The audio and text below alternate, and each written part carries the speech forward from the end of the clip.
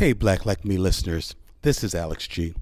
You know, in the midst of all of the turmoil that we're experiencing, I keep having these glimpses of hope. One is the um, premiere of the documentary in which I was featured. It's called Justified Journey.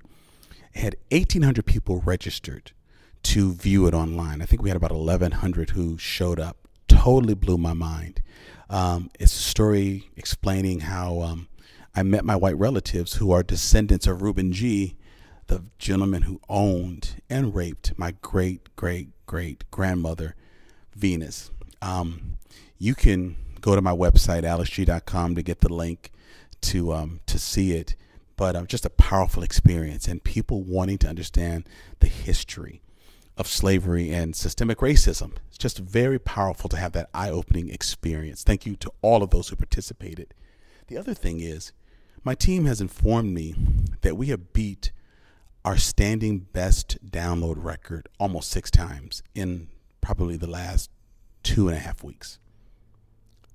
Almost six times, like 5.87, almost six times.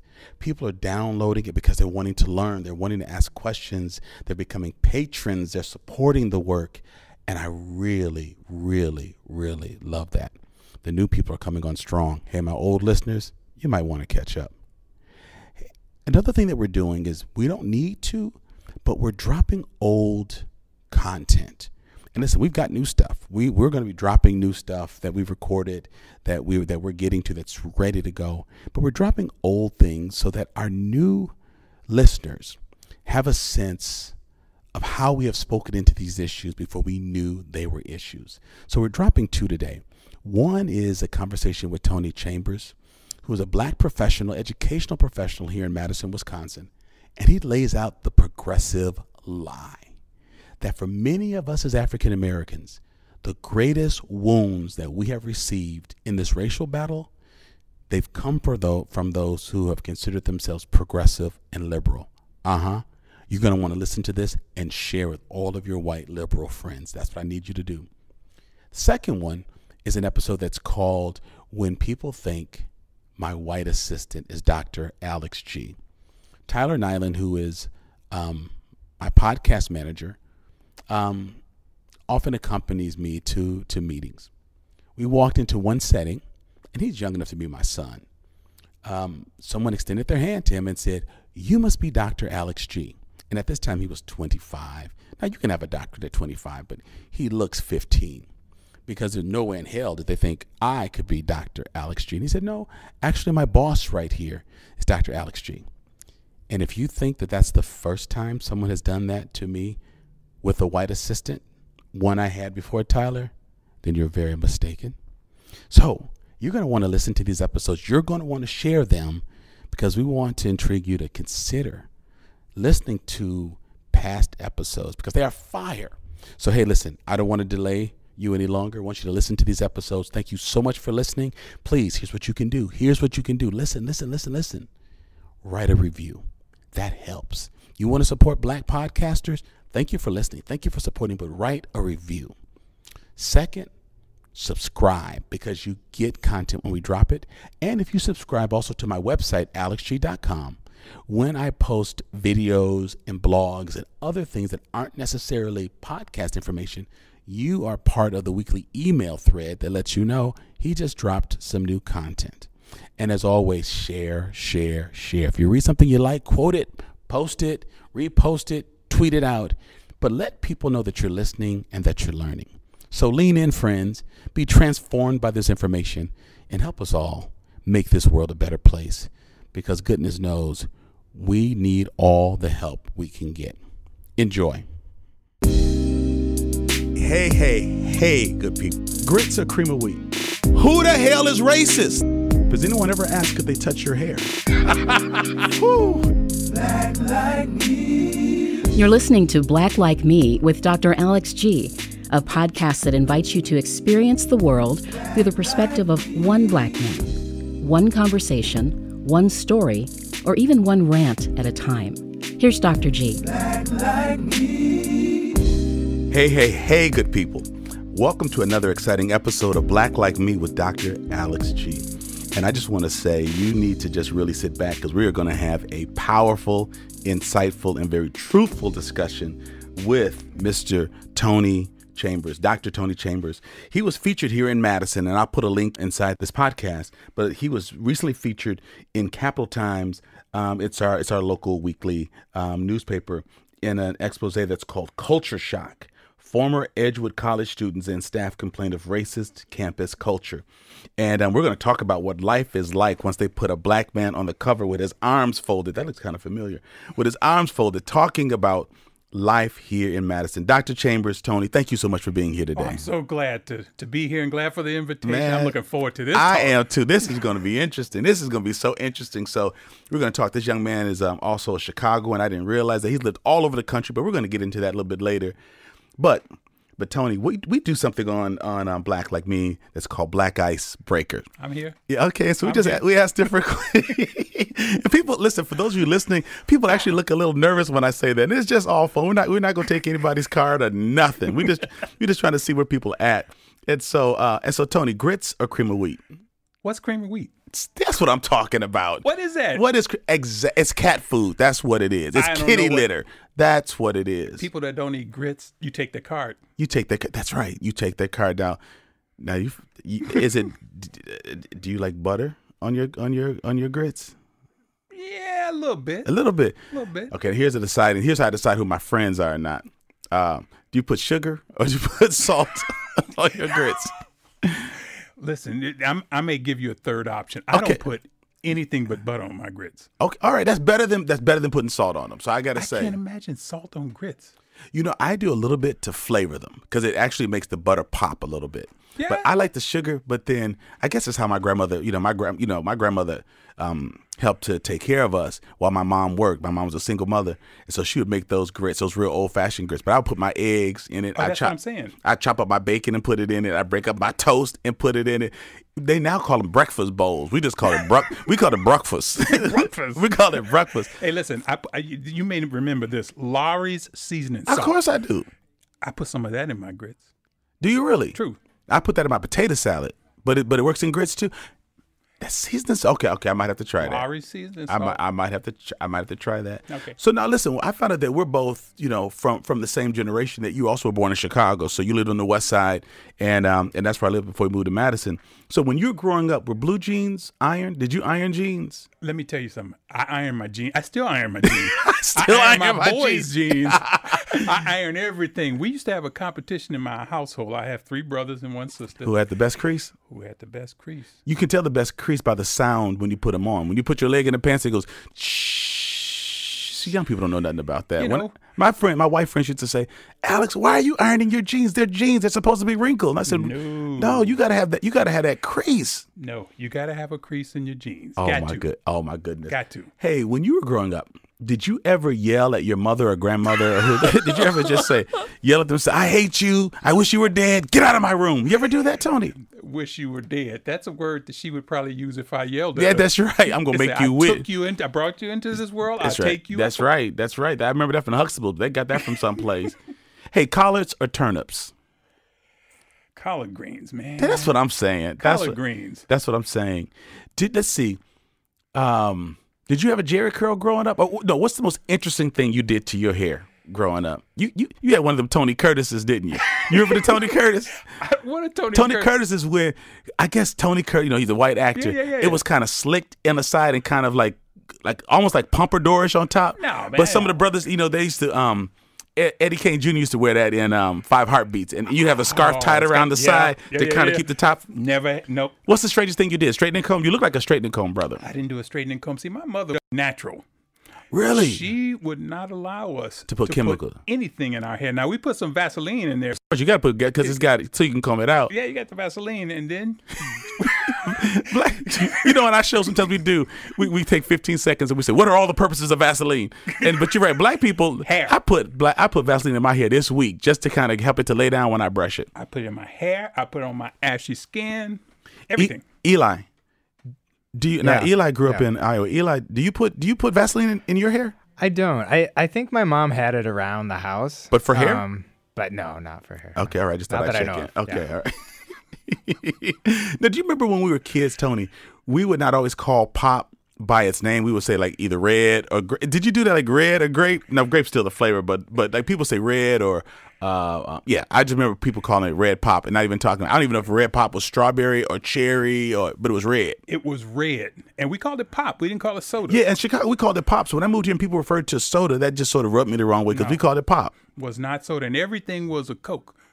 Everything was Uh, a Coke. You know that's that's true in Atlanta right now. I, like when I've gone down there, they'll say, "Do you want? Would you like a Coke?" And I said, um, "Sure." It goes, "Okay, well, do you want a root beer? Do you want a grape? Do That's you want? Do you want you know strawberry Coke?" I said, "What? Y'all got flavors?" now they do. Yeah, I know now they do, but it was a Coke was everything. Oh my goodness! And so, um, did you have play cousins growing up? People who weren't really your cousins, but you thought they were your whole life? You know, that's a delicate question, man. Oh, okay. We want to just move on to the next one. Mm, yeah, I, I had play cousins, play uncles. You found out they were your brothers play, and sisters. You know, hey, listen, man. Take listen, fifth. listen, strangest thing. Papa was a Papa was a rolling. doo, doo, doo. Let me see. Did you did you have did you have anybody named Mookie, Junebug, John John, Lip Maine growing up? Did you, did you have friends with those kinds Oh, of? I had John John. You had John. I had John John, and I had uh, what, what was my guy's name? His name was uh.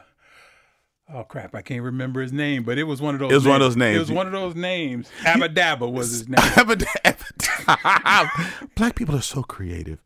Um, did, did you grow up around um, your grandparents? Where- Did you live near them? Did your grandmother watch watch stories? You see, my grandmother passed away, and uh, when I was really, really young. But more stories. That's funny. If I say stories to people nowadays, they don't know what I'm talking about. So, Oh, so no. what's what's a story? We, today they're called soap operas, They call soap operas or soaps. yeah, I mean that's what they do. You know, Young and the Restless. But we call my grandmother. They would say, "Oh, shh, sit down, someone, be quiet. My story is about to come on." You know, my mother. We knew it. We she didn't have to tell us She knew. because when the TV went on and it was black and white. When the TV went on, we had to sit down. She would read. She would watch stories. She would read these magazines that kind of like stories. Yeah. Oh my goodness. I man, I love it. Let me see if we got any other things on here. I want to ask you be. Um, do you know what it means to split the pole when Oh, you and your, I do that today, man.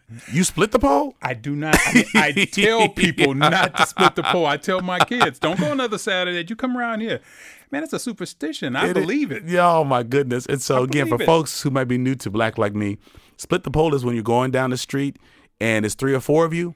You all need to go on the same side of the light post, the street sign, the mailbox. You know when they used to have mailboxes right. outside. That's right. If you do it, you have to stop and go back, back around. But You you, do not. It's called splitting the pole. Like do not split the Do pole. Do not go that way. You know, this is this is something I'm going to add to my list, but I don't have it on it yet. But when you were in Chicago, wherever you lived, you did older people refer to grocery shopping as making groceries? My aunt used to say she, there were, she had friends who would say, "Oh man, it's Saturday. It's time to go make groceries." But that's what they refer to grocery shopping as. Does that sound familiar at all? That don't sound. I mean, no, I didn't hear that one. Making groceries. Making groceries, she would say. Making groceries. Man, let me see. Did your family cook black eyed peas on New Year's Eve? Every day. New Year's They every made, day. They, they cook black. We ate a lot of beans, man. Yeah, yeah. But black eyed peas, we had to have some greens, some collards. Man, you're making me hungry. You know what I mean? Some cornbread in a skillet. Oh my! In a skillet. Skillet. Was that was that the hot water cornbread or the, the like the flat pancake type or No, just? it was a hot water cornbread. My, see, my aunt had that. I need to get that recipe. I tell you, my my, my aunt used to cook um, this uh, German chocolate cake in a skillet. and it's oh, see, Yes, see, indeed. old school knew how to do stuff. I know. Hey, did um did you grow up in a family where someone asked you, "Boy, come over here and scratch my back"? I, a lot of that. Wash my feet, scratch my back. Because I, was- I did it. I was talking to my sister the other day. She said, oh, "Is it just our family, or is it just black people?" But we'll be like, "Hey, come here. Can you scratch my back?" So I bought my wife her own back scratcher. So she got one. I got one. Do you remember when people used to? Did, did you grow up in a home? And this might be my last question. When you grew up in a home and people said, um, um, "Hey, grandma, mama, can you scratch my head?" Do you remember? Let me tell you something. To this day, I still ask my mama to scratch my head. Eli, Yeah, you're from Iowa. I am. Do do y'all scratch each other's head in Iowa? Do you, like has, has your grandmother ever asked? Has your mom ever asked your grandmother, "Hey, big mama, can you Madea, can you can you scratch can you scratch can you get some or can you get some Vaseline and scratch my head?" Did y'all do that growing up? That never happened. Maybe some back scratching. Some back scratching. But, um, you ever had your head scratched, Eli? No, I Then don't- Eli, you ain't been loved. I know. Eli, you're man, still a virgin. Eli, you're still a virgin. You need to be touched. You Eli. need to be touched. Eli, you need to- The truth's coming out. Oh, it's one. coming out. That's that's like well, Miss Celie, you still a virgin. All right, we're gonna talk about that. We're gonna, we're gonna talk. We're gonna talk to Miss Steenlich about that. Um, Eli. All right. Oh my goodness, that is so funny. And Okay, so I, I got I got one for you. please, please I got go a ahead. couple for you. Uh oh. Uh oh. You ever had gum and cheese? Yes, I did. Let me tell you something. That makes the best grilled cheese sa- grilled cheese sandwiches Sandwich. in the world. You talking about the one that comes in a great big block? Truth, truth. Yes. And then you have to slice. Now Velveeta looks like it, but it was twice the thick. But it's It not. not. But that that that you know what's so funny? We didn't know we were poor eating that stuff, and our mothers didn't want us to go to school talking about government cheese. But every comedian, every actor, every every person who's made it understands that's the best cheese in the world. It'll clog up your arteries, you know, for the rest of your life. But that was some. Yes, I've had some, and it it's was good. real and some macaroni and cheese, man. Oh my goodness! what I'm Yes, saying? Real yes. macaroni and real macaroni and cheese. Yes, we did. We did have some government cheese. That stuff melted well. I got one for you. Go for it. It's pimping hard. Oh, pimping is easy, man. Oh my goodness! easy, man. I heard that on Black Jeopardy on Saturday Night Live, and I cried when I heard when I heard that. okay, I got one more. This I see. See, you're from my generation, so you get this. Did you know people who dip snuff? Uh, Oh man, dip, I remember yeah, people dip who snuff yes and spit it out in and the spit can. it and can. T, t. man, that's some nasty stuff. That's some man. that's some, some nasty, nasty stuff. stuff, When- man. oh, do you know what a face bowl is? What's we call them sinks now. We're growing up. They're like, boy, you better go in there and wash up in that face bowl. a face bowl? A yes. face bowl. And you know, are you talking about the like the like there used to be some that would go under your bed that you pull out It and put a a water. white thing that had a ra- a red rim around. It was metal. Yes. we had a face bowl. This is- We had a, now, did you do a face rag? okay, yes, we call them face rags. Now, when I grew up and I was in sports and we started having a shower, my white friends did not have a wash rag, a face rag, or a wash rag. They would just go to work on a, on a bar of soap and they say, hey, you, you need some of the soap. We were taught you do Oh, not you touch the soap on your body. You put your soap on the rag and then you go to work. That's true.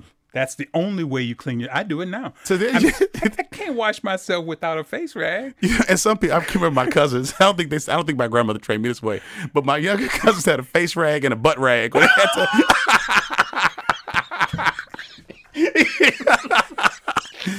oh my goodness, the FCC is going to You- take me up. They're going to start me, regulating. man. They You- go, you're oh my gosh. Okay, I better, me. I better get off these black icebreakers. I better get off of these. But man, thank you.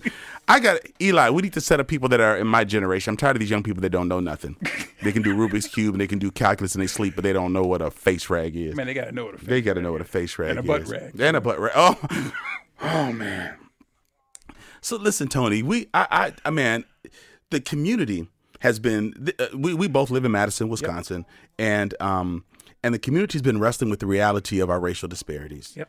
And um, and so I appreciate the fact that you, when your article came out, you talked really honestly about what your experiences um, have been. And so I'll reference the article just a little bit, but as I told you earlier, I just wanted to talk about life before this, after this, um, what Madison is like compared to other places where you've lived, and not just harp on this and walk through it. But the reason why I did want to talk to you a little bit about it is that when you put your business out here like this, and I and I have a sense of what that feels like. It may not be the exact same thing, but what it feels like. Um, people only want to talk to you about that. People who've never talked to you before. Um, people want to tell you, um, well, if it's so bad here, go back. I don't know if you have you heard any of that yet. I have heard that. I have heard other things that are even more caustic. Really? More toxic, What have What have you heard? You can say. I mean, we're not we're not FCC regular. We can we can cuss. We can say stuff. We sure. know. No, I've heard to take your fucking ass out of town. well, Get we out can't we can't say that though. Okay, I no, I'm just. I did not say that. no, it. no, but they, said that to you. Take your fucking ass up out of here. Get that's crazy. what uh, what I've heard. I get it through text. I get it through uh, my phone. I get it emails. Man, are you serious? I want to tell people my family's been. Here, here's one of my white mentors taught me this trick.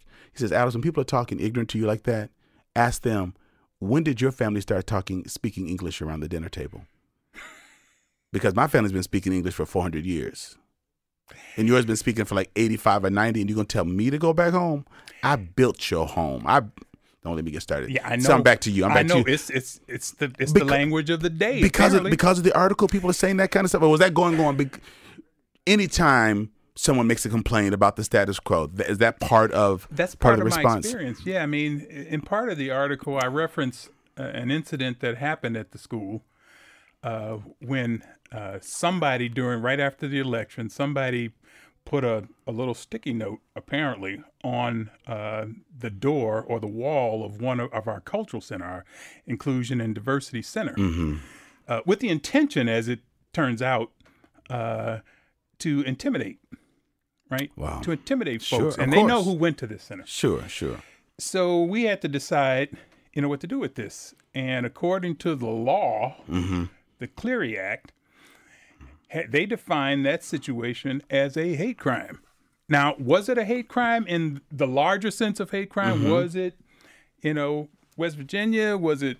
Sure, sure. Yeah, it it wasn't that. It wasn't to that level. But we didn't have any other options, so we had to call it hate crime, and thus there were some other things that had to go along with that. We had to report it to the police, had to notify the community that this was was happening. So we put it out there, and at that point, everybody who was involved in the decision, this team of people, this response Right. team, started getting calls and emails and death threats and Death threats. truth death threat it went on this radio station uh, and i don't know the, the person's name i think was Vicki McKenna or something like I've been on her show one time years ago. it was i mean she should have she should have sort of cut me a new butthole after that and said you know this is a laughing stock this is silly this is stupid go back to where you come from came from and i'm like you know She's I'm not. She's not from here.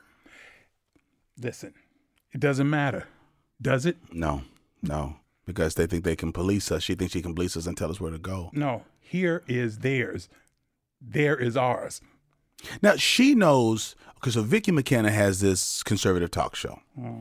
Um, so she knows that that view is not necessarily welcomed in Madison, and she talks about the hostility of it. So why would she not think that there's hostility? That's based in other because our state motto is forward because we're the home of Robert La Follette and and progressive thought. So she feels like her view is counterintuitive, counterproductive. She feels the pressure, the pushback.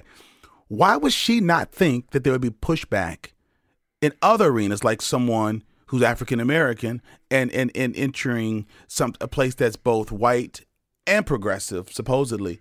And so when people become just that uh, myopic and and and and not thinking that um, the pushback they're feeling can't be felt in through through other or seen or experienced through other len- uh, lenses, just shows me the short sightedness Well, of it was short sighted, but it was also prophetic. In retrospect, I mean, it, it was prophetic. Remember, it was right after the election in 2016, Mm-hmm. and it was at the foothill of this mountain that was building, that was growing around what kind of rhetoric is acceptable, who may be, who may be, excuse me, No, you're right. uh, receptive to this this kind of rhetoric uh, that may not have been receptive in the past or may have been hidden in the past. It you know her rhetoric at the beginning is now considered the standard, right. and she knew this, and they knew this, right? So to call somebody a snowflake, or to call somebody uh, call somebody out and tell them they need to go back. I mean, we may have thought 2016 that you know that was that's unheard of. We're progressive, Right. you know, Right. blah blah blah. But now it's it's it's mainstream.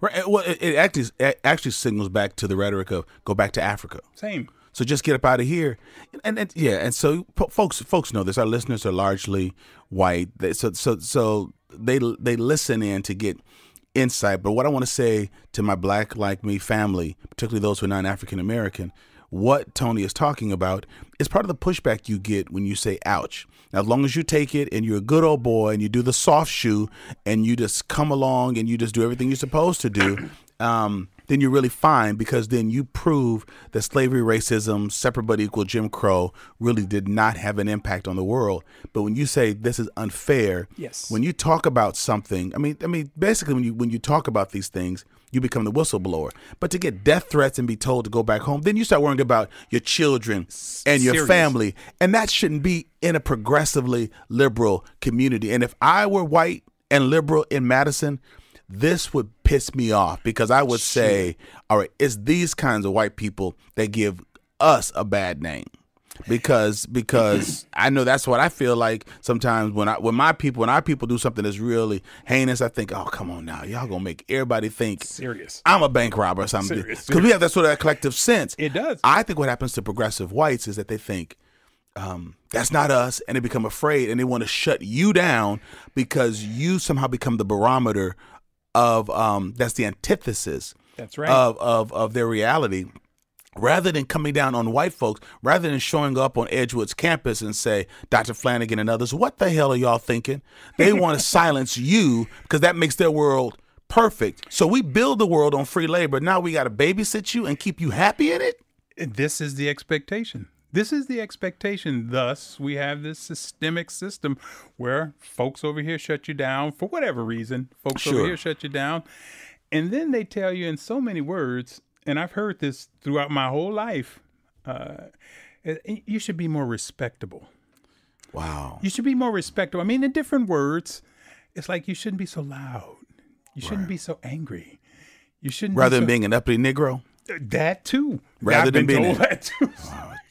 but it's been mostly these code words. It's been like Code. It's it's, that- it's a lot of code. They say you know you should be more like this. But what I've come to understand, Alex, is that I've never gotten respect by being respectable. That's right. You know, I've never gotten the respect that I deserve by being respectable. Right. You know, and I think I'm a fairly respectable kind of guy. And my mom always taught me respect those who respect you.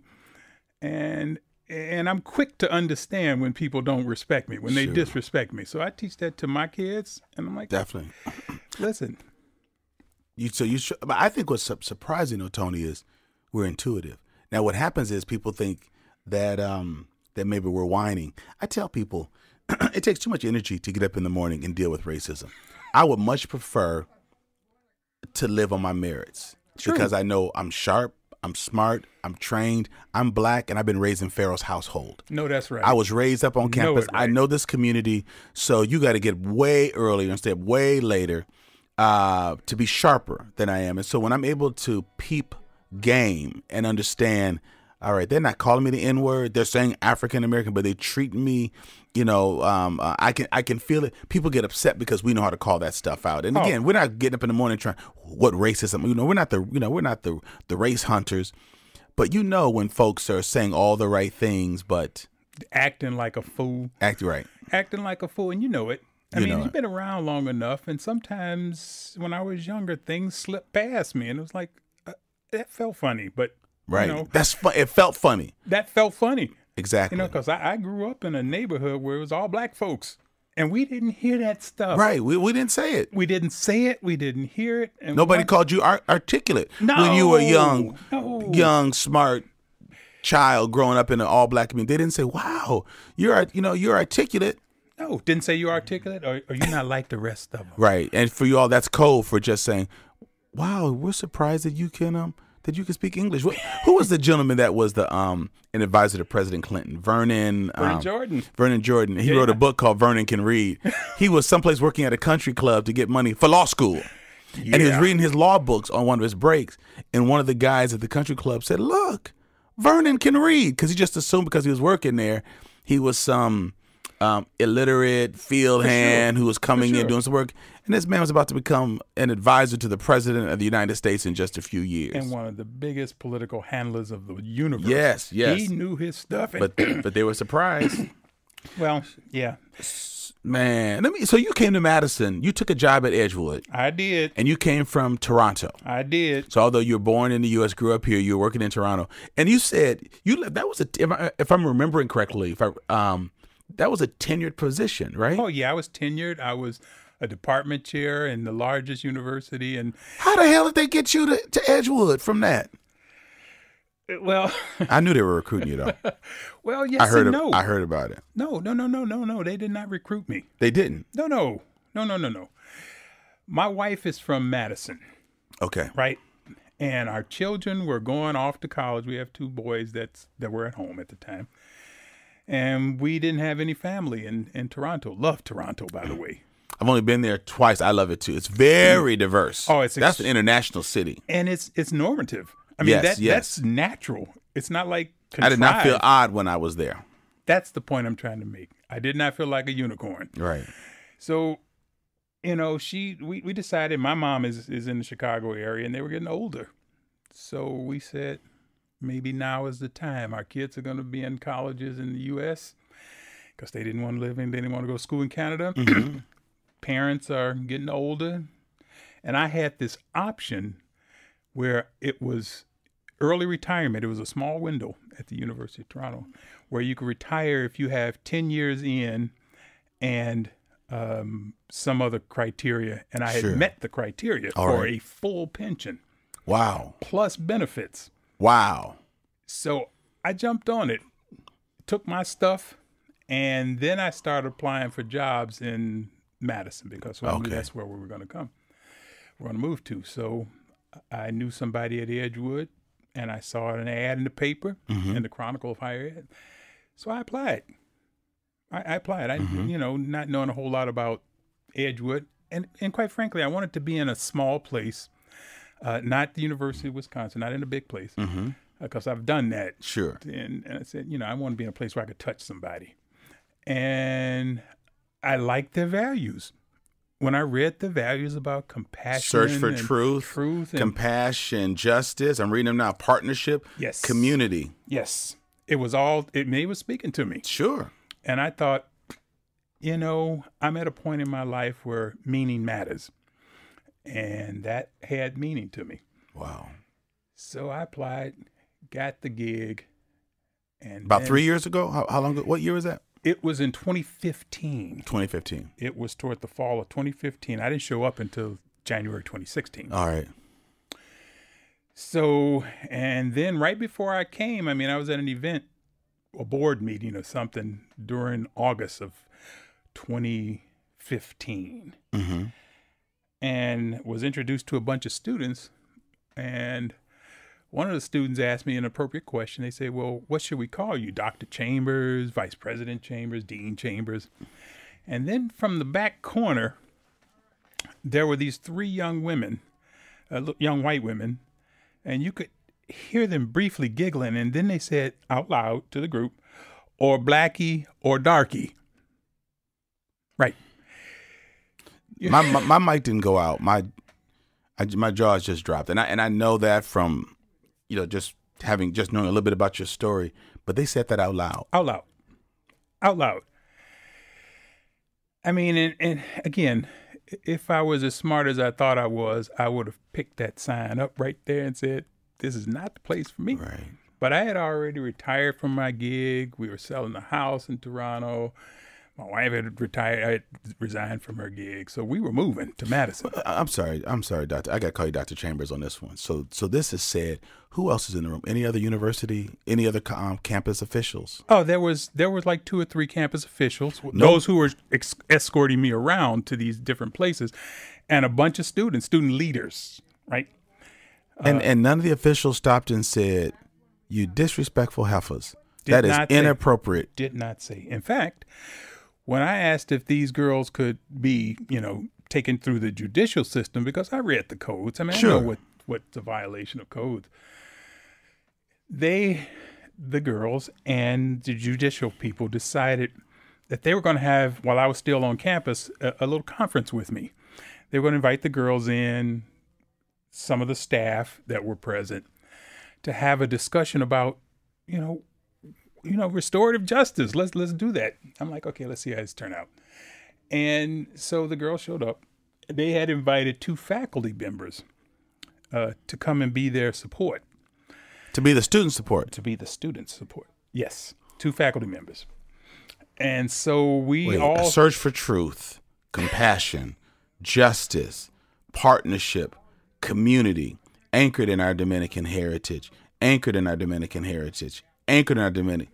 St. Dominic would be spinning in the grave if he knew you know that. the kind of shit that was going down in that room. That's ridiculous. you know what I've come to understand, and I'm an understanding brother. You know what I've come to understand is religion aside, values aside, the world we live in, the society we live in, infects and affects every white person that exists in this in this society. You know what I'm saying? Yes, it does. That's a power. That's a powerful statement. It infects and affects every one of them. Every. That You cannot run away from it because It's the water they're swimming in. truth. Truth. So, I mean, I get the values. I hold those values deeply. I'm not Dominican, but I hold those values Mm-hmm. Sure, deeply. sure. But I also understand that we live in this world where you just cannot escape. You don't you can't escape it. It's in the water, like you said, that we Right. swim in. It's in the air we breathe. So I'm looking at these folks thinking, you know, we got disconnect here. And it don't feel good. Wow. It don't feel good. So that's the short and the Sure. long of that. But you know, there were several incidents that happened, several, many, and, and I just had enough. You know, no, I, had enough. I hear you, and I want you to know, I'm really sorry about that. Not, not that I did it or had anything to do with it, but this is this is my city, and this is hard to deal with when you live here. But when I think about you um, selling your home, taking early retirement, of course you want to be closer to family, but moving into a community and not just experiencing it, but experience, experiencing this in isolation, because telling someone that this is happening is, and this is, I want people to really hear what I'm about to say. It is it is at a similar level or comparable level of saying, I saw Bigfoot in the Arboretum today or the Loch Ness Monster on the Union Terrace. People, you kind of think, well, would everybody be saying this if it weren't true? But I've never seen it, so I don't think it's true. When these things do happen, it is like pointing out the Loch Ness Monster, and people don't want to believe it because it shakes their reality, and then the victim is blamed. What did you do? And um, I just think that's just ridiculous. What What do you looking back on on this article now? Um, do you think that they portrayed your your voice fairly accurately? I've got a lot of friends over at Cap Times, but you know this stuff gets lost in translation. Do you, do you feel Do you feel good about the article? I feel like he captured the essence Okay. of the article. There was much more to the story. That's but, you know, again, one of the things that he did, which I appreciate, is he put it in a larger context, Yes. right? He put it in a Which larger context, which did not make the story necessarily about me. It made the story about the conditions in which we currently live Right. and the effect it has on a large population so that people other than me can find their story in that story. Sure. Sure. Hey, everybody, this is Tyler, the podcast manager of Black Like Me. Just wanted to jump on and share two quick things about Black Like Me. Number one, Patreon. Patreon is an opportunity for you if you like our show at all, if you enjoy it, if you want us to keep creating this content to be able to support us financially and to help us do that. If you're as little as $2 a month, you can join our team. We also have some other higher tiers with some more benefits if you join. So please go to patreon.com slash blacklike to hear more. Number two is that if you are interested in having Dr. Gee speak, if you're interested in him doing some consulting for you, your organization, anything like that, you can go to alexgee.com slash contact and you can fill out a form to be able to see how you might be able to bring Dr. Gee to your business or your community. All right, back to the show. So so what what do you um what do you wish had been conveyed in in your story that that was not conveyed? I I mean, it was partially conveyed. One of the things that that happened to me, which I'm sure happens to other people, but I acknowledge the privilege that I have to say these things and people to hear them in a different way. Is that when these kind of things happen on a daily basis to people, it creates a whole lot of emotional and mental, uh, not to mention economic. Sure. Tell, Uh, me tell me more about that because this is people are listening to this conversation Mm-hmm. because they want to understand this so that they can become better advocates. Talk to talk to me about about the toll that it takes. Yeah, th- there's this concept called racial battle fatigue, Yes. and it's real. Yes, it is. And uh, when uh, people like us are confronted, black folks confronted with uh, daily aggressions, macro, micro, in your face. Right. behind your back, whatever right, it looks right. like, It's there. it accumulates, right? And it's not just this one-off thing and it dissipates, disappears, but it accumulates Yes, it does. in your body in your mind it accumulates you start questioning your judgment sometime it's difficult sometimes to sit and pay attention to things it's hard to motivate to finish things sometimes and all of uh-huh. this i'm saying about me Sure. so this is these I'm saying I'm over here saying amen, brother. I'm saying amen. so yeah, keep going. You're you're, No. you're you're you're diagnosing me. Honestly, sadly, sadly, and, And people, it's hard for people to hear this with accomplished African American folks. Oh, man. But actually, we become more of a threat to American exceptionalism as when we as blacks grow in our in our own excellence and we have the audacity to believe in ourselves, our ancestors, our future, and that we have a we have a right to um to justify our anger, to justify our experiences, yes. and to speak up. But and people will laud us for doing it, but it's at it is at a great great price because no one wants to hear a middle class African American who has a job you want, who has a house you want, who has a marriage you want. No one wants to hear us talk about racism. So it's actually easier for someone who's struggling um, in the court system. They've never been employed and they've always been in trouble and they've got some drug issues. It's easy for them to be heard Truth. that the system is broken, has has has done has messed them up. But we seem to be the exceptions, the Jackie Robinsons who somehow made it through. So we are proof that the system is not rigged. So the pressure to shut us up, particularly in academic circles and corporate circles, are even greater. I, I couldn't agree more. I could not agree more. I mean, you talk about Vernon Jordan earlier, Right. And his experience. Same thing. We are not immune. Right. None of us are immune. But I Right. thought I was. That's what happened to me when when whatever happened happened. I felt the American dream unraveling for me because I thought mm-hmm. this is not supposed to happen to me. You know, I'm a paper boy, I'm the Cub Scout, I'm the track captain, I'm on homecoming court, I'm a I'm a preacher. This is not supposed to happen. It's not supposed to happen. But I mean, uh-huh. we had the syndrome of, you know, my black friend. My black friend is acceptable because he makes me feel safe. safe. He makes me feel like I have, have progressed, that I have evolved into an accepting But you just but you just made that black friend sound like an emotional dog, like an like like, like an emotional pet. That's That's, what, you what it made. That's what you made us sound like. That's what That, it that- is. that's what it is. and once that black friend, Is that why they want to touch our hair all the time? they better not be touching my hair. Okay. The little that I got. I'm sorry, I didn't mean to cut you off. Please keep going. But I like that. So so as long as you're the black friend that doesn't rock the boat, or my my black colleague, That's it. And you demonstrate our commitment to diversity and inclusion. I mean, but don't don't don't become diverse.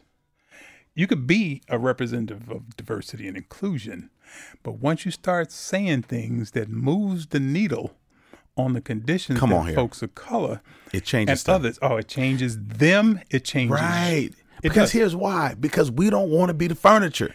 You can't just put black people in the room. We have opinions. We have thoughts. We're not all Democratic. We're not all Baptists. True. You know, we're not. Uh, we're not all Southern. Speak we're to not. me. Speak. So so let us be who we are. But you can't bring black people in the room and say, sit down and be still. Because even on plantations, we broke tools and we did things to be subversive. So don't think that we're gonna have earned doctor degrees and gonna sit down someplace and be quiet in a room. We can Ain't do your job. happen. We could do your job blindfolded.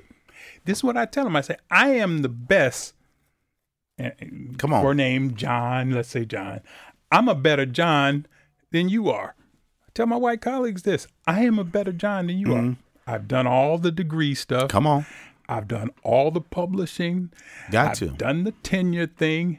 And I did them, as Ginger Rogers would say, in heels. Right. Yes. Yes. I did it all.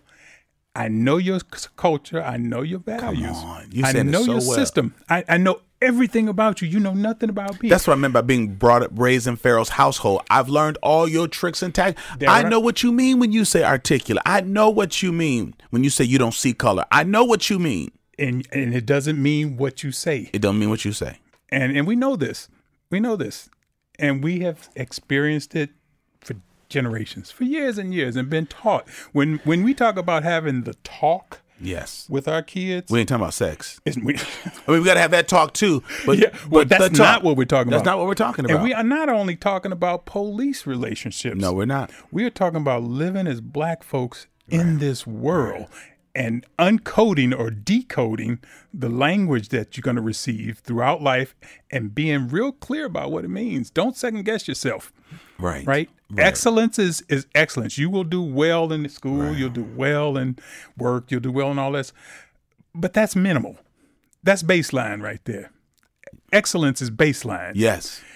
knowledge, wisdom, clarity, trust, love, Integrity. integrity, all of that requires the talk, right? it really does. And when we don't give our kids the talk beyond sex and right. No, I got you. no, no. You know, I and I don't you. think they. I don't know any white folks that have to do that.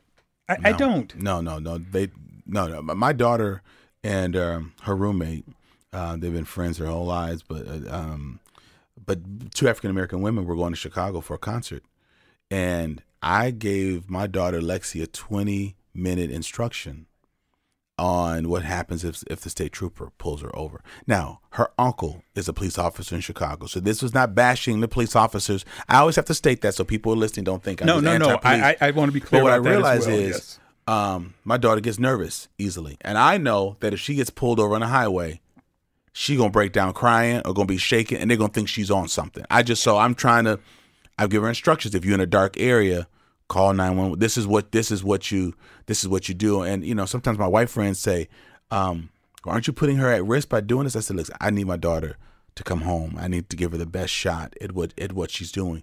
But I realized after she got on the highway, I talked to her for 20 minutes about how to navigate an incident with law enforcement, but did not say a single thing about what to do if a guy walking out of the out of the concert has his pants around his butt and and talking disrespectful to her and following her to her car. Because I realized she's gonna know what to do in that scenario. Yeah. she's a track star. She can get up out of there, Yep. or she knows how to she knows how to protect herself. But I realized what's happening in the world when you're talking to your daughter about police officers and not about um, men making inappropriate sounds or gestures to you in a concert and trying to follow you to your car.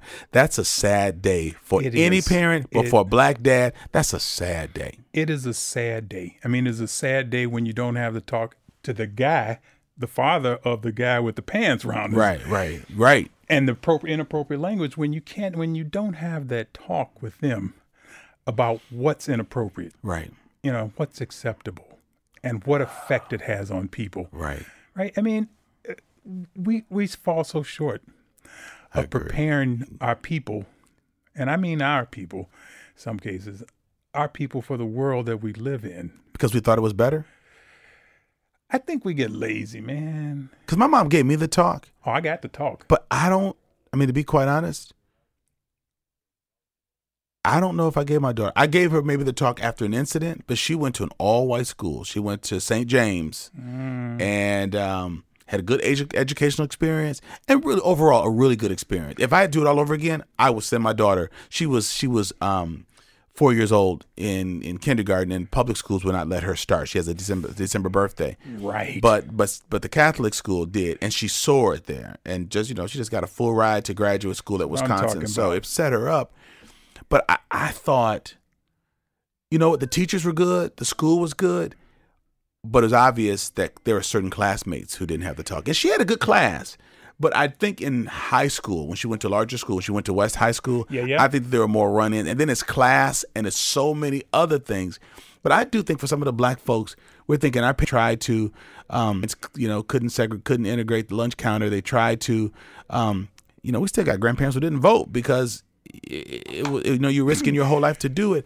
I think, man, somehow in our minds we thought we, we were we were beyond this, yeah and maybe it's just laziness too, Tony. I think I think the the beyond this point is spot on. To be honest with you Mm-hmm. now, because I, I remember calling my mom after the 2016 election. I remember calling her. Mm-hmm. And I said, "Mom, What year is this? I'm distraught. You know, they they elected this guy, this racist, this person that right. that hates it. I'm I'm I'm sad. I don't know what to do. My mom, you know, she didn't join that chorus. She said, did. She said, "Boy, you know where you live. right. You know where you live." She said, "Stop pretending. Wake up." Seriously, it's like knock, knock, knock. Anybody in there? Right. She was like, "Yeah, you know where you live. Like, you should not be surprised by this stuff. We have been up and down that road many, many times. Right. You, you shouldn't be surprised by this stuff." And again, it's the translation of that to our children and to our children's children, which is sort of my world right now. right. To our Right. children. Sure. So, and, and it's a hard thing because they're enjoying their lives as much as they can. Sure. They want to see and live in a world that's not, you know, that, that doesn't take them apart because they're smart, attractive, accomplished. Right.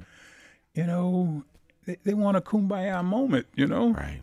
And, I, Right. and I, I want 'em- I want everybody to have a kumbaya moment, Sure. but ain't the way it is. Sure, sure. So, you know, I got these these boys at home who are, I mean, I I, I learn too much from my kids. I learn more from my kids than from anybody else.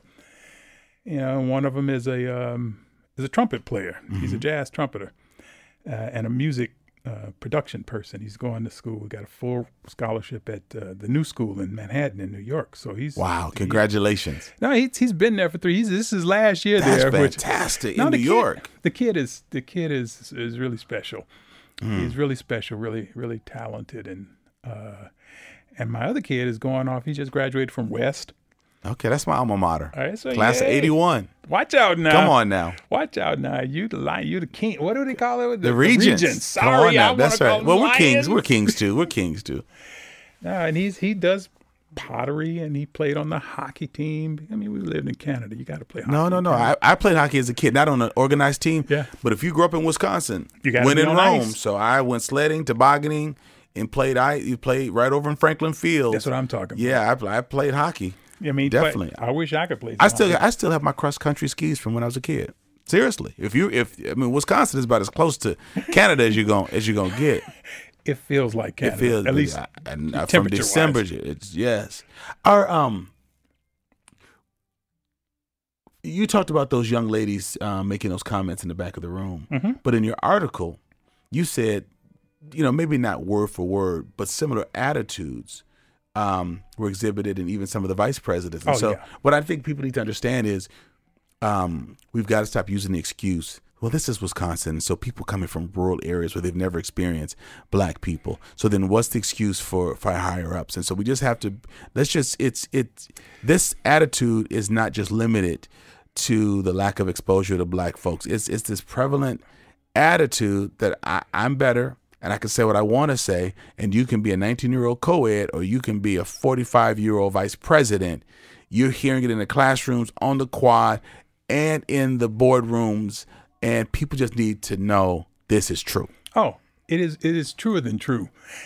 I mean, it was a shock to my system because of where I came, just had come from, because I didn't run into that kind of stuff for almost. So Toronto wasn't. So Toronto wasn't like Oh that. man, you know, if I had three microaggression experiences in the eleven and something years I was in Toronto, that would have been probably more than than than you know. So then, what is Madison, in your opinion, basing its progressiveness, pro- progressivism or or pseudo progressivism? What are we basing it upon?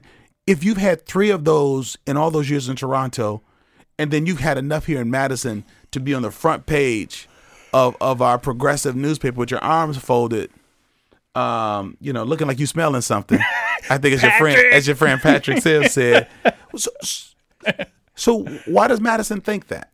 And then leading into that, what makes us different from other places you live? Chicago, Florida, Toronto. What, from your perspective as an outsider, what's wrong with us? Well, we live in the world, first of all, but that's Sure. a whole other thing everybody else does as well. One of the things I'm trying to understand, and, and one of the things I've talked with people about, one of my curiosities at least, is that there I don't understand the reason why Madison is so odd. And when I say odd, I mean in terms of in relation to my other experiences. Sure, sure. So I lived in Iowa City, I lived in Gainesville, Florida, I Uh-huh. lived in St. Louis, Missouri. Mm-hmm. I lived in Chicago. I've lived in East Lansing, Ann Arbor, Kalamazoo. You've done it. I mean, I've been in some places that have been, you know, challenging, but Madison itself is the oddest. See that that's what I, that's what I need Madison to hear. I need you to tell me why too, but I just need people to hear that. You said you lived in Iowa City. Yes, now, I did. many people are listening. First of all, Iowa has crept into our top ten listening areas, and so I'm loving the people from Iowa. You all have still not identified yourselves yet. I, don't, I want you to tell me what city you're from, so I know who you are. But um, people in Wisconsin may say, "Okay, we're white." but we're not Iowa white. You know, we're not Nebraska white. We're not Bemidji State white. You're saying Madison is even more odd than Iowa. Iowa City. Iowa City. saying Iowa, yeah, right, Iowa City. Now, Iowa City, uh, then and in retrospect, uh, was quite progressive during that time. This was 1990. I know at least three brothers who've gotten their PhDs from Iowa. I know several black folks who have gotten their PhDs. I know a lot of LGBTQ folks. In fact, they had these major programs to recruit people from the LGBTQ community At Iowa. at Iowa in the law school. So they're, I mean, they've done some really interesting things there, and they were in the front of things in Iowa City. Now, yeah, Sure. it is white, Sure. to be clear, No, no, clear. They're still white. but Madison. You know, Alex, I, I, I wish I had the answer to the question. I know what it feels like. yes. And what it feels like is that Madison refuses to accept the changing of the times. Okay. You know, we live on our laurels, we live on our past here. Sure. Sure. We live on a time when we didn't have to deal with the realities of diversity and inclusion Because it wasn't here. because it was not here. Right. You know, we live on that reputation that, you know, we are open, we're progressive, but behaviorally, when it really happens and you have to do it, and you have people amongst you Mm-hmm. that represent the rhetoric, Mm. then it's just hard to translate. It, Sure. It's very hard to translate. I want to say we have well meaning people here. Definitely. I've seen that. I do. I want to say we have well meaning people here, but we have not prepared folks, right, to live the rhetoric that we've lived for many, many decades. It's a good description. We've not. I mean, in, in in some in some cases, no fault of their own. You know, it's just we have not done a very good job here of bridging the gap between what we say and what we do, right? Wow. And we don't call out in an earnest way behaviors that violate all those values, all of that rhetoric about progressiveness and liberalism. You said we don't call it out. we don't call it out. Now, what white people don't understand about us is that we like honesty. If you call it out, we respect you. Truth. We, th- I think they feel if they call it out, it is an admission that it exists.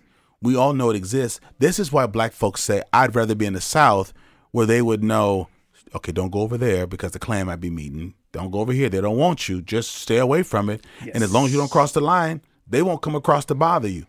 I don't think people understand that it's spelled out so you know the demarcation. If there's a Confederate flag, we know that we're not going to trick or treat at your I house. know that's right.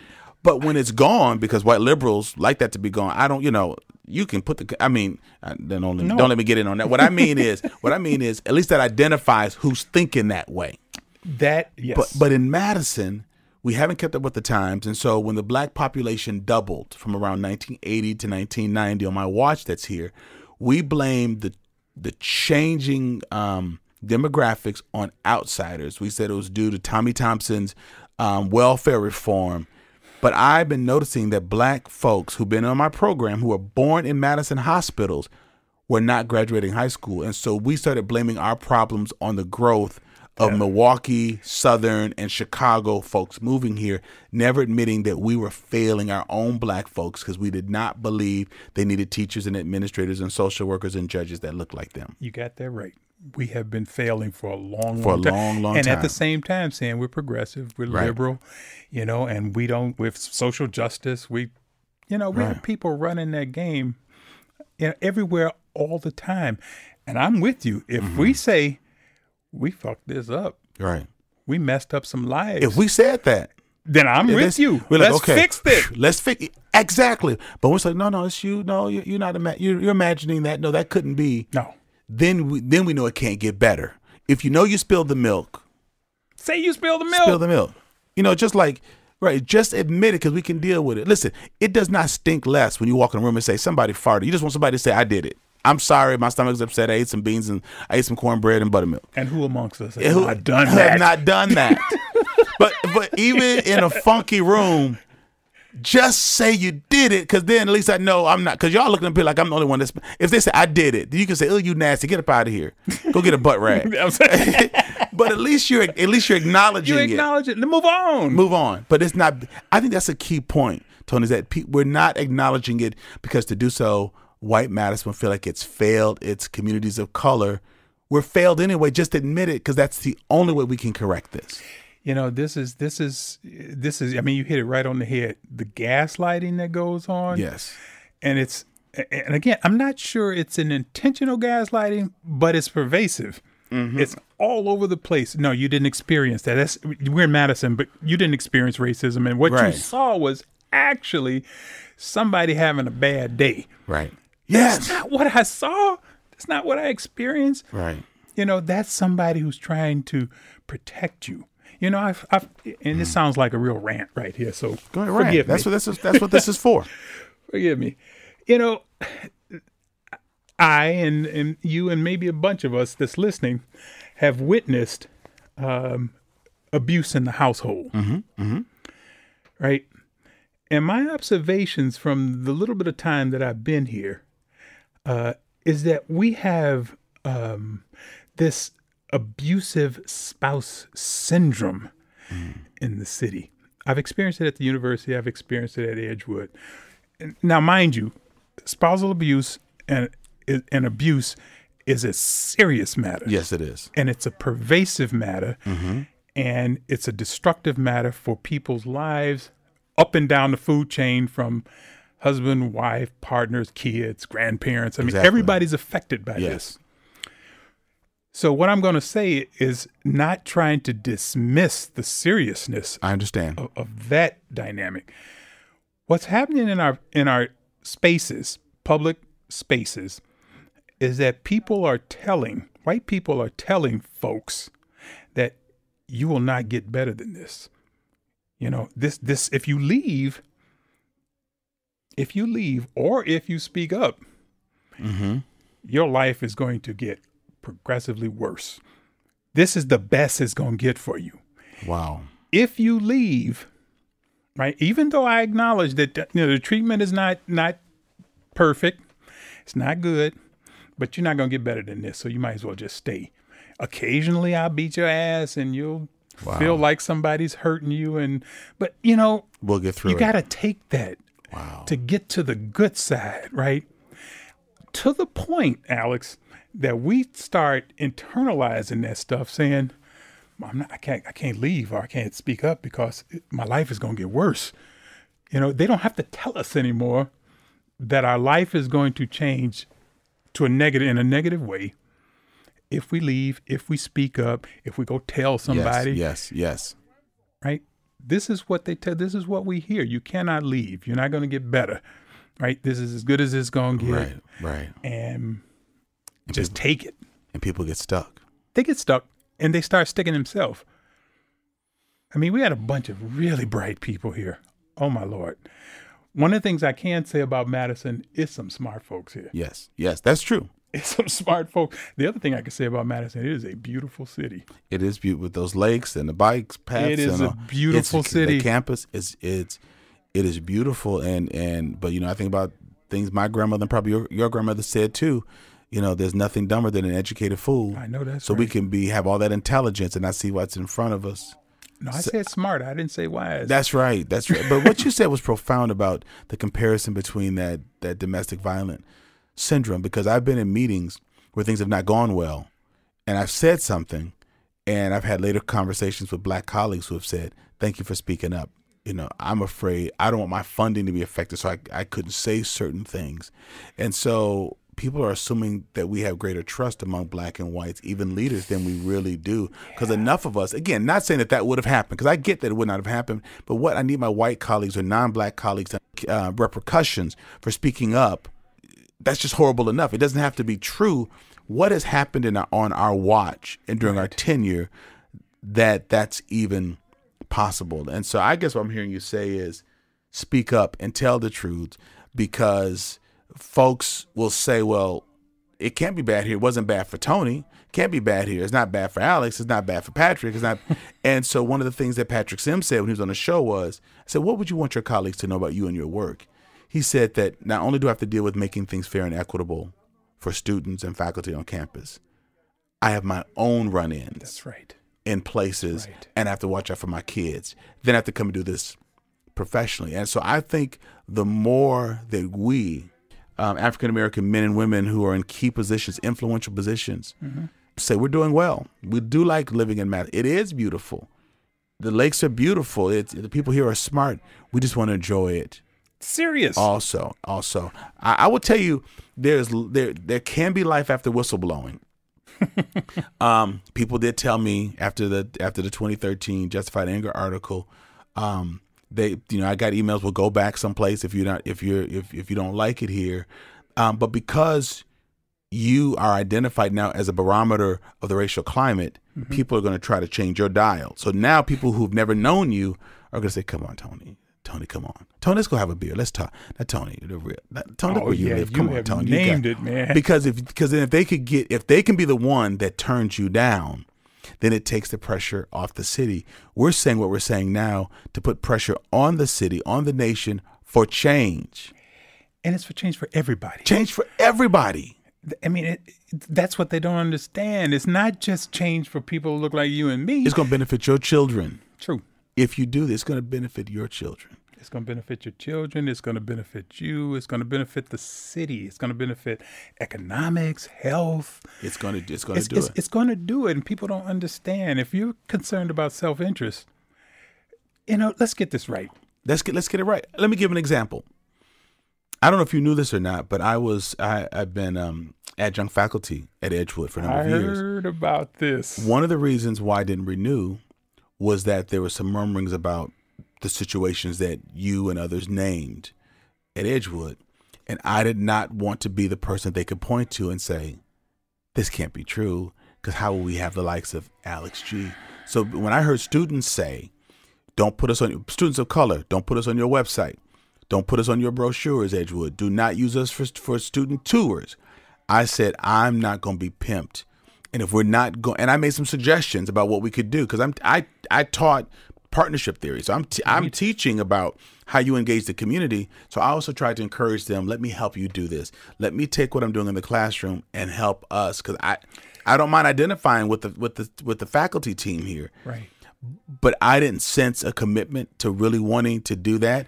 And people kept saying, "Well, let's get you with Tony. We got to talk." So of course you got to bring the black folks together. So I don't know, we can duel it out, and you know, I don't know what that was about, but I will say this: because I did not want to be um, Photoshop. Photoshop. I, did, I didn't want. They I did didn't, over here. That they did over here. at, at, yes, I didn't want to be that person. So you can't have your students and faculty and staff pissed off at you and then having me setting up as the you know as the No. inside Negro. I wasn't gonna I wasn't gonna play that role. So this is back to your point though, Tony, that when we don't clean house, we don't address it. Even though you and I never talked about Edgewood until this moment, we've never had the Edgewood discussion. The community talks, people see, and because I knew that the perception was that the campus was not moving on this, uh, you know, readily. I said I'm not gonna I'm not about to get into the cesspool because I'm I'm trying to do stuff community wide, and I, I can't get stuck with folks who may not be taking this very seriously. You got to convince them that this is even here. That means you're years away from addressing. If these are merely misunderstandings and lack of perception, then you're not going to address this for a decade or so. So people, if you're you're you're listening to us and you're white and you're in key positions, if you see shit blowing up, do something. Get some air freshener, strike a match, get some get some Clorox wipes. Do, something. Period. But don't pretend like it's not happening because it will blow up on your watch and you may never recover from it. And it could be small, it could be large. Do something. Do something. You know, if it smells funny, look funny, walk funny, it is funny. It is funny. Trust You know? your gut, and if not, trust the black folks you have hired to understand diverse issues. That's another. We're going to do that on a whole nother show. How we bring. I talk. I. I on this, you know, I just like to spend time with folks who are in charge of diversity issues Yes. because they need somebody to talk to so they don't go crazy. Yeah. But but to be Oh, brought in to tell people how to do that, to be told to sit down and shut up. You know, I would not have general counsel and then say, You always talking legally, sit down somewhere. I would say, Okay, this is what they're trying to do to me. Counsel, how do you make this go away? They don't bring us and say, Okay, let's get you budget, let's get you staff, let's get you some some key positions, let's get you this, let's get you that, let's bring you to the table. Help us put this out. Say it. Just Say put it. us on brochures and then sit us down someplace. So it's like we're on retainer. Stop calling us colleagues. Called us retained um, colleagues or something like that. It's an indentured servitude. Come on now. We just take that money and just go to the bank. Like, all right, you want to do it? Yeah. Guess what? See, it's, Man. exactly. Listen. Oh it is so frustrating. It takes so much energy. I mean, it, it just it just takes so much energy that could be used to make things better.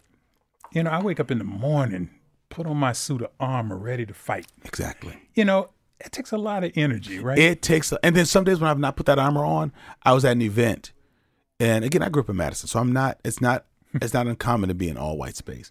But one day I didn't put the armor on. It was a younger crowd. It was loud. It was like a celebration for up and coming um, professionals. Mm. Um, None of them were black, and at some point, I just felt like, and it was like one black server that was working there. I just took a glass. I took a I took a coffee cup, put a spoon in, and just started stirring it. And I said, "Get out, get out." And before they took me to the sunken place, I just left. And listen, I do. I'm in these spaces for a living. I'm not. But that day, I didn't. I didn't realize it, Tony. Until you just said it. I didn't armor up. I got up that day and forgot to put on my my Wakanda outfit. Hey, I look. didn't. I did not get my head ready. and you know it when it happens. And listen, and folks don't know this because let me just tell you this. Folks who are listening who are non-black, I'm gonna tell you a secret on your good black friend. They have got to put that head on, that helmet on, before they go to work, play, swim lessons, soccer, hockey, whatever it is. Got it. I'll be talking to black people, they'll be like, okay, whew, let me get myself ready. I go up into this office with all these white people. And it does we're not just talking melanin. We're talking No. attitude and discussion. They can be talking about um, photos of Mars, but they want to ask you what you think about what some black person did in South Central LA. They don't bring us in on the deep conversations No. about you know, you know, No. but you know, on, on political stuff. But now that Prince Harry married someone who is black, now what do you think? What do you think? What do you think? But until then, nobody asks us what we thought about Princess Di and and Prince Charles. Nobody asks us that stuff. So I just want folks to understand if you want to really build um, good inroads into the black community, communities of color, listen to what we're saying. Process it. Don't just practice it on your black friends. Truth. Ask your white colleagues, do we do this? Why do we do this? Why did we not know we were doing this? So don't practice what we're talking about today on your black friends. Practice it on your white friends. Process it, and then maybe you all can have that conversation. But we're doing this so that you can listen and so that you can learn. Um, Dr. Chambers, I want to have you back sometime just to talk about other stuff that you're doing. Um, Would love on it. Madison, you know, UW Madison's campus. Um, but man, I'm glad that you're in this community. I want us to to stay connected. I, I'm not I'm not just saying that like a like a podcast No, host. man, I'ma see I you after this. This definitely. I want to really I want to really stay connected. But again, when you spoke up, I said I got to get to know this brother because one, I can relate. Two, you're pushing what I was asking for. We got to set an agenda. Y'all got to stop doing it and asking us to rubber stamp it. People should bring us in because we understand how to change the environment. This is what we do. And um, the folks who tap into that will understand how to make their businesses and agencies better. Let, But- let, me, let me just say something Sure, about sure. a little bit of the feedback, and some of y'all would understand this. What I did right there was not heroic. Mm-hmm. It, it was not heroic. Because for me, a hero is somebody who does something like that and has a lot to lose. Yes. Right? That's a hero. Mm-hmm. The heroes are these moms out here who are trying to make ends meet, That's right. you know, and still getting shit on. Yes. These are the heroes. These are the people when you go into some of these buildings and you see the brother cleaning up and pushing a trash basket around to put stuff in and Mm-hmm. That's people true. treating him like dogs or people waiting on you in a restaurant. If these people speak up, if You're these right. people, these are the heroes. For me, like you said earlier, people say, "Well, he's got privilege," blah blah blah blah blah blah blah. He ain't, you know, he ain't speaking for us, and I might be. I mean, I, I don't know how people internalize that stuff, but for the folks who are out there doing the work every day, Every day on the ground, I mean, they are they're toiling in the field every day, turning the other cheek because they got to make ends meet. they got to get those the babies moms. through school. Those moms, I'm telling you, those That's a good point. That's a good point. I salute y'all. Yes. I Amen. salute you. I love you. And if there's anything that I can do in my powers to make you the hero, you know, let me know. You just did it, brother. You just did it. You brought light to it. They already have just brought light to it. So listen, man, I appreciate you being my special guest. Hey, this has been another great episode, insightful, enlightening, inspiring, challenging. At times painful um, episode of Black Like Me with Dr. Alex Gee.